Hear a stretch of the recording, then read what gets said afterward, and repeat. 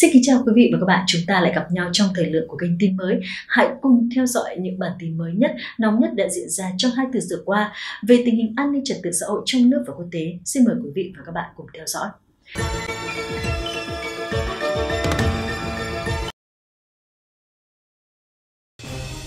ASEAN chung tay đồng lòng giải quyết các vấn đề tranh chấp tại Biển Đông. Chào mừng quý vị và các bạn đến với bản tin Biển Đông ngày hôm nay của chúng tôi, cập nhật những diễn biến mới nhất về tình hình khu vực. Theo thông tin chúng tôi nhận được, vừa qua hội nghị thượng đỉnh ASEAN lần thứ 40 và 41 đã diễn ra, tập trung đề cập và giải quyết các vấn đề tồn tại cũng như định hướng lối đi tiếp theo cho khu vực trong những năm tới. Được biết, Tổng thống Philippines ông Ferdinand Bongbong Marcos cũng đã đến Campuchia tham dự hội nghị thượng đỉnh Hiệp hội các quốc gia Đông Nam Á ASEAN lần thứ 40 và 41. Ông Marcos cam kết ưu tiên các lợi ích của Philippines và giải quyết tranh chấp Biển Đông tại hội nghị lần này. Sự tham gia của tôi sẽ thúc đẩy cho bảo vệ lợi ích của Philippines trong ASEAN, ông nói. Ông cũng chú trọng hợp tác khu vực về an ninh hàng hải, biến đổi khí hậu, an ninh lương thực, hợp tác y tế và phục hồi kinh tế. Chúng tôi sẽ giải quyết các vấn đề khu vực như đại dịch, tình hình ở Myanmar, diễn biến ở Biển Đông và xung đột đang diễn ra giữa Nga và Ukraine, cùng những vấn đề quan trọng khác, nhà lãnh đạo nói thêm. Ông Marcos cho biết Philippines ủng hộ vai trò trung tâm của ASEAN, vai trò chủ tịch luân phiên của nước chủ nhà Campuchia và ủng hộ Indonesia trong việc tiếp quản vị trí này trong năm tới. Trước đó, trợ lý ngoại trưởng Philippines ông Daniel Espiritu cho biết Manila tiên phong trong việc kêu gọi thực thi thỏa thuận 5 điểm mà ASEAN đã ban hành năm ngoái về vấn đề Myanmar. Thỏa thuận này gồm kêu gọi chấm dứt bạo lực ở Myanmar, đối thoại giữa tất cả các bên, hỗ trợ nhân đạo từ ASEAN và cho phép đặc phái viên ASEAN tới thăm Myanmar. Được biết, liên quan đến vấn đề Myanmar tại hội nghị thượng đỉnh lần này, áp lực đã gia tăng nhiều hơn với các nhà lãnh đạo Đông Nam Á. Theo đó, từ Phnom Penh, đặc phái viên Thanh Phương cho biết áp lực đặc biệt đến từ các tổ chức phi chính phủ, chẳng hạn như trong một thông cáo đưa ra ngày 1 tháng 11 năm 2022, tổ chức Human Rights Watch đã kêu gọi các chính phủ dự thượng đỉnh ASEAN hãy ủng hộ việc ban hành các trừng phạt nặng nề hơn và các biện pháp khác để chặn đứng những vụ vi phạm nhân quyền trầm trọng của tập đoàn quân sự Miến Điện. Vài ngày trước khi khai mạc thượng đỉnh ASEAN tổ chức công lý cho Miến Điện, Justice for Myanmar tố cáo việc ASEAN bổ nhiệm tư lệnh không quân Miến Điện làm chủ tịch hội nghị tư lệnh không quân các nước ASEAN năm 2023, trong khi tập đoàn quân sự gia tăng sử dụng không quân để phạm các tội ác chống nhân loại và tội ác chiến tranh đối với người dân nước họ.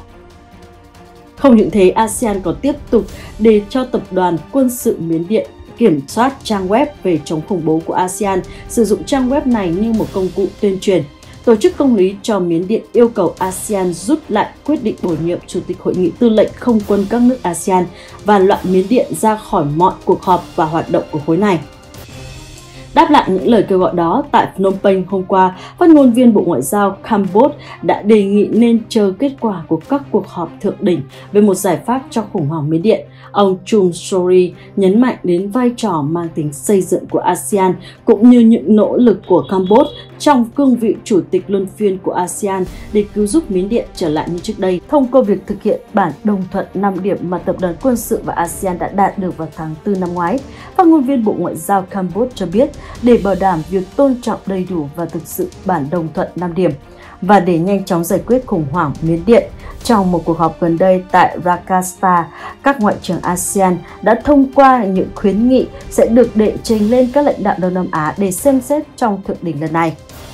Một trong những khuyến nghị đó là trừ phi tập đoàn quân sự có những tiến bộ trong việc thực hiện bản đồng thuận 5 điểm, ASEAN sẽ hạn chế hơn nữa việc tham gia của Miến Điện vào các cuộc họp của khối này, nhưng không có dấu hiệu nào cho thấy các lãnh đạo ASEAN sẽ có những biện pháp triệt để hơn trên vấn đề Miến Điện.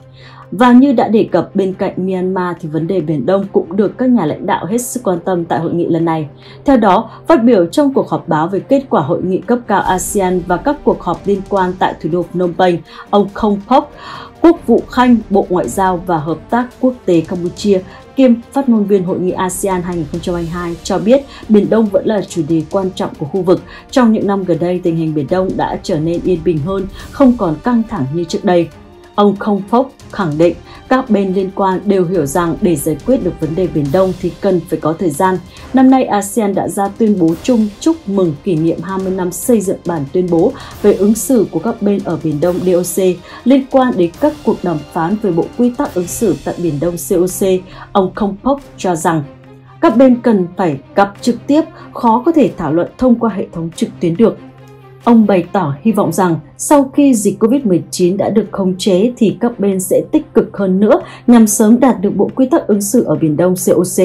Trong hội nghị cấp cao ASEAN vừa qua, vấn đề Biển Đông luôn nhận được sự quan tâm trao đổi sâu rộng của lãnh đạo các nước ASEAN, trong đó lãnh đạo các nước ASEAN khẳng định tầm quan trọng và trách nhiệm của các nước trong duy trì hòa bình, an ninh, ổn định ở Biển Đông nhấn mạnh việc thực hiện đầy đủ và hiệu quả DOC, sớm đạt được bộ quy tắc ứng xử ở Biển Đông COC hiệu quả, thực chất cho phù hợp với luật pháp quốc tế, trong đó có Công ước Liên Hợp Quốc về luật biển UNCLOS năm 1982.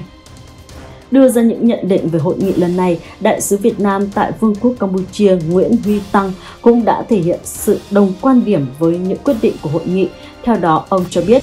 trong năm 2022 cũng như các năm trước đây, ASEAN rất coi trọng các cơ chế đối tác, đối thoại và chính các cơ chế này đã phát huy rất tốt hiệu quả trong ứng xử nội khối và giữa ASEAN với các đối tác trong giải quyết các vấn đề khu vực quốc tế trong thời gian qua. Trong năm 2022 với vai trò là chủ tịch ASEAN, Campuchia đã thúc đẩy mạnh mẽ các cơ chế này để thống nhất đồng thuận ASEAN trong ứng xử với các vấn đề khu vực như Myanmar, xung đột Nga-Ukraine và Biển Đông. Tuy nhiên, Đại sứ Nguyễn Huy Tăng đã nhấn mạnh thêm một điểm khác biệt khi ông đưa ra đánh giá đối thoại là chìa khóa để giải quyết hòa bình các vấn đề và tranh chấp quốc tế. Do đó, các cơ chế đối tác đối thoại của ASEAN sẽ tiếp tục được thúc đẩy trong thời gian tới. Về vấn đề Myanmar, Đại sứ Nguyễn Huy Tăng cho rằng với tư cách là một thành viên ASEAN, việc Myanmar thực hiện đầy đủ đồng thuận 5 điểm với sự hỗ trợ của ASEAN là cách thức khả thi nhất tiến tới một giải pháp thỏa đáng lâu dài cho quốc gia này.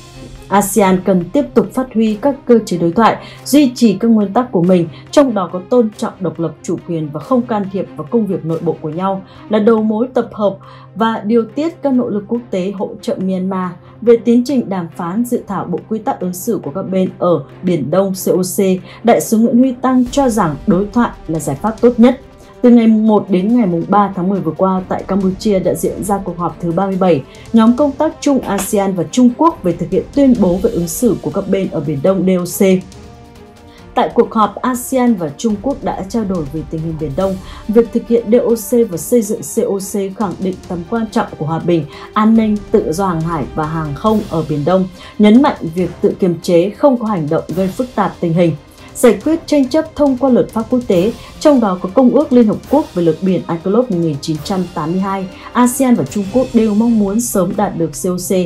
Đại sứ Nguyễn Huy Tăng nêu rõ các hội nghị của ASEAN trong năm 2022 cũng như hội nghị cấp cao ASEAN lần thứ 40-41 và các hội nghị cấp cao liên quan diễn ra trong bối cảnh tình hình thế giới khu vực phức tạp khó lường, đặt ra nhiều thách thức đối với hòa bình, ổn định và phát triển.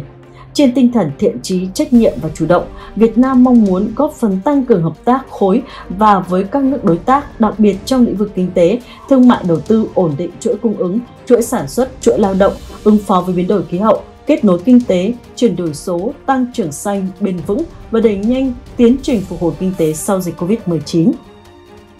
Trên bình diện an ninh, Việt Nam mong muốn thúc đẩy đối thoại và hợp tác để thu hẹp khác biệt, gia tăng điểm tương đồng giữa các nước ASEAN, góp phần củng cố đoàn kết, thống nhất và vai trò trung tâm của ASEAN, thúc đẩy tiến trình xây dựng cộng đồng ASEAN. Việt Nam cùng ASEAN và các nước đối tác sẽ trao đổi thực chất, đối thoại thẳng thắn để nâng cấp và làm sâu sắc quan hệ các đối tác, tìm giải pháp hòa bình thỏa đáng cho các vấn đề quốc tế, tham gia tích cực thiện trí phát huy giá trị đối thoại và hợp tác với các cơ chế cho ASEAN dẫn dắt, tôn trọng vai trò trung tâm của ASEAN, đóng góp có trách nhiệm cho hòa bình, an ninh, ổn định và phát triển ở khu vực và thế giới. Nói về vai trò điều hành của Campuchia trên cương vị Chủ tịch Luân phiên ASEAN năm 2022, Đại sứ Nguyễn Huy Tăng cho biết từ đầu năm đến nay, Campuchia đã tổ chức rất nhiều hội nghị về các lĩnh vực chuyên ngành để tạo sự đồng thuận của các nước ASEAN. Campuchia đã chủ động và tích cực vận động các nước ASEAN tham gia đóng góp vào việc tìm kiếm giải pháp phù hợp với vấn đề Myanmar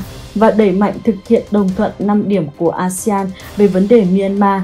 Các nước thành viên ASEAN đều thể hiện rõ lập trường và thái độ của mình trong vấn đề Myanmar, thông qua đó tạo được sự đồng thuận cao về việc tiếp tục duy trì các nguyên tắc cơ bản của ASEAN nhằm phát huy vai trò trung tâm của ASEAN trong các cấu trúc khu vực cũng như đối với các vấn đề toàn cầu trong vai trò nước chủ tịch luân phiên ASEAN năm 2022.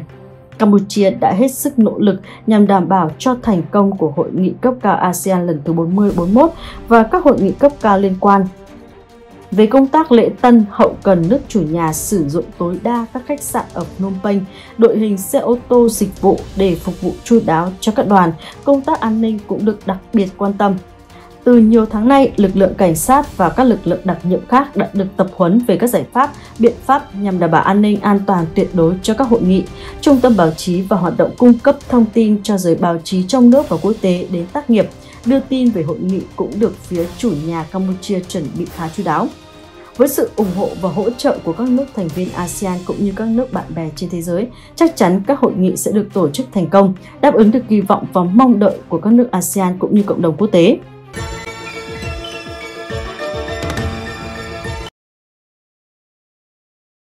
Trên đây là những thông tin tổng hợp chi tiết những nội dung nổi bật trong ngày của tin mới. Cảm ơn quý vị và các bạn đã chú ý theo dõi tới cuối video này. Mọi ý kiến đóng góp quý vị hãy để lại trong phần bình luận phía dưới để đội ngũ của chúng tôi có thể kịp thời hồi đáp. Xin kính chào và hẹn gặp lại.